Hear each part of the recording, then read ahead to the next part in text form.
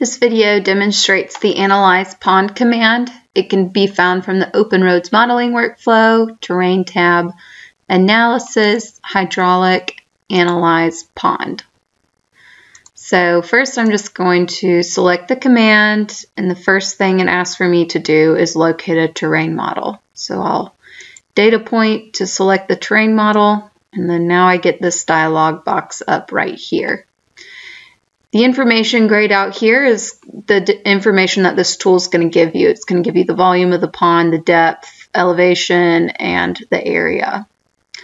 You can set different filters. If you check here to display all the ponds, it'll display all, right here you can see in these white dashed lines, all of the ponds available according to what filter you have set. And then the feature definition is whenever you data point to place the the pond information, it'll place it according to this feature definition.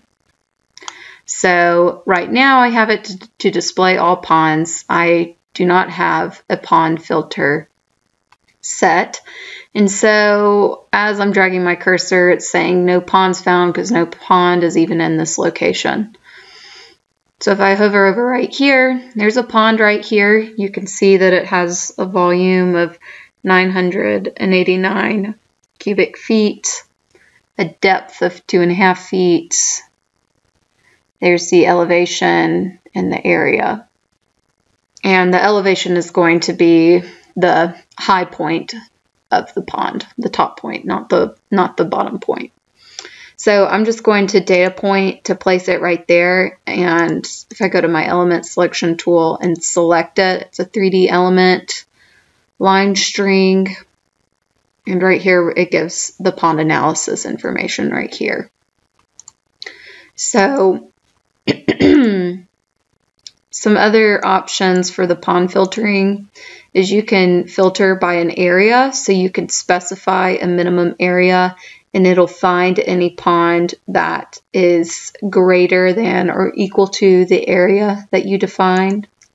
You can also do it by a depth, so a minimum depth. So for example, I could set to one foot and it's going to go through and calculate only the ponds that would have at least a one foot or greater depth. And you can see there was one right here that was removed. So if I go back to no pond filtering and then hit apply, you can see it re, it showed up right here again. So that's how you use the command.